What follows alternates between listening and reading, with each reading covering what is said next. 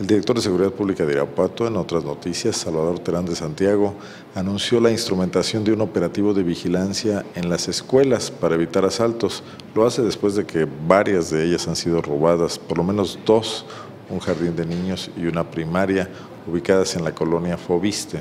El funcionario aseveró que es muy difícil cuidar las más de 500 escuelas todos los días y solicitó apoyo de la Secretaría de Educación para que a través de los padres de familia se eh, propicien redes de vigilancia.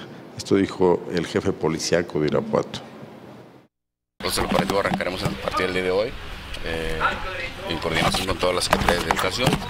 Ya estamos está preparado el operativo, como cada año. Vamos a ver el apoyo de cada una de las escuelas, a efecto de poder garantizar también que evitemos este tipo de robos. Cuidar todos los días a muchas escuelas es difícil para nosotros no imposible, por eso pedimos la coordinación de todas cada una de ellas. Creo que tenemos que cada quien poner nuestro granito de arena. Hoy sí sabemos que todas las escuelas ya están solas, entonces ahora sí tenemos que